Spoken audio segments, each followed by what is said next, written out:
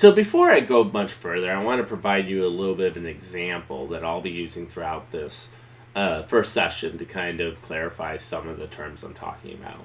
So imagine that you have a bunch of features describing a set of banking customers, and you're trying to determine who to target with a new offer via telemarketing. So that's kind of the business problem that you have, and that's the problem that you want to solve using artificial intelligence in some way, right? So first of all, we'll talk about what we're going to talk about what we call the attributes or features, also sometimes referred to as the independent variables. So these things could include things like the age of the customer, their job type, their marital status, the da- day of the last contact by uh, um, one of the agents who are trying to uh, convince them to buy the new offer, and the duration of the last contact. And these also could be about the new offer, they could be about old offers, whatever, right? There, there's just a bunch of data about the individual. The realization, so those are called features or attributes. The realization of those features are called the values. So if the age is 42, then 42 is the value, right? The feature is age, right?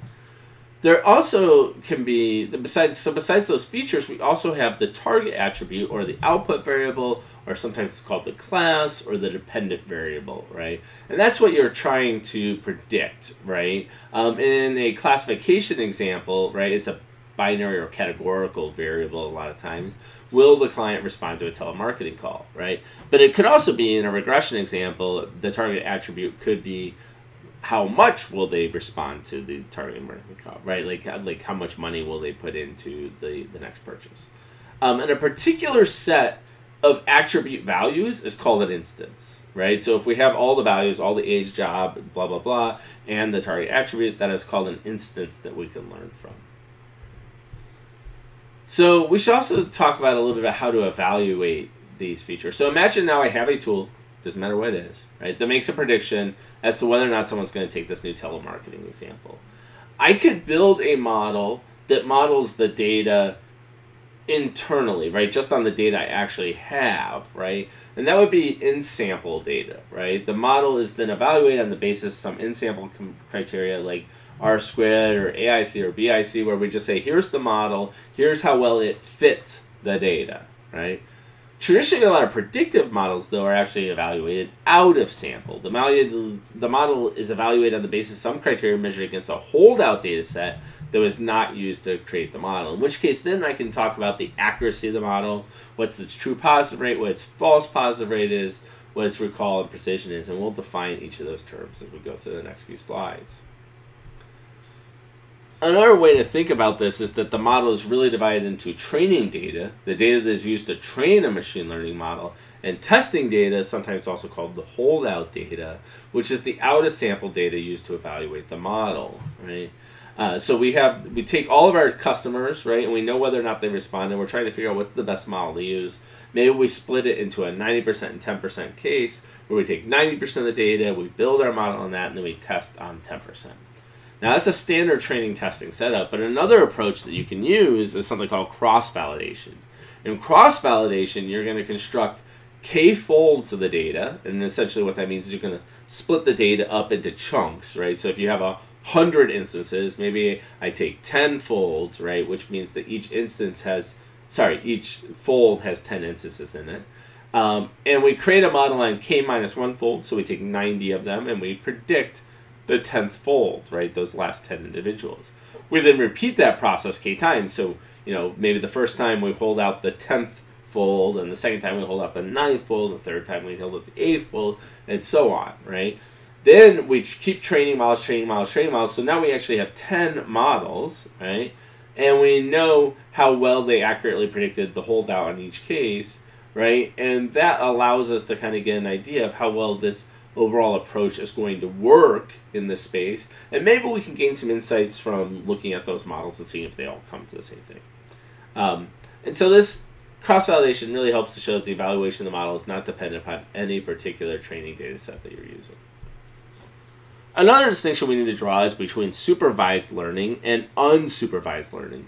In supervised machine learning is where a training data set is provided in which the target attributes are provided for some of the data, right? So the bank telemarketing example, right? We know in the training data set whether or not someone took the promotion, right? And so, so or decided to take purchase the promotion or whatever, right? So in that case, right, we have a supervised machine learning problem. But there are some cases in machine learning where we just want to explore the data we have, right? Or we're not sure what the labels are. And instead, there is no target attribute, and the goal is to find commonalities. So topic detection is a classic example. This, if I take, give you a bunch of tweets, and I say, find what the class, what the topics are that these tweets share, it's you don't have a list of those topics ahead of time that are listed for each of the tweets. So instead, you have to explore the data set and cluster the tweets that are similar together in such a way as that they really kind of bind together for one topic. So another way to describe this, right, is then the supervised machine learning framework. You're given training data, attributes plus target attributes. You run a machine learning method to create a learned model, right? You then pass some testing data through to that and you compare that to the you compare the outputs of that model to the target attributes of the testing data, and that really determine, determines the effectiveness of the model. In an unsupervised machine learning context, right, you have some sort of training data, right, um, and you pass it into your machine learning method. And what you're learning, your learned model, is a set of clusters usually, or profiles, or co-occurrence of data that says these data sets are like other similar ones, right? Um, and in this case, you can get testing data too, which you could pass in, which would be data not used to train, and then you could see how well that testing data is also clustered in order to understand the effectiveness of the model. Another distinction to machine learning that's useful to think about is regression versus classification. I've kind of alluded to this already.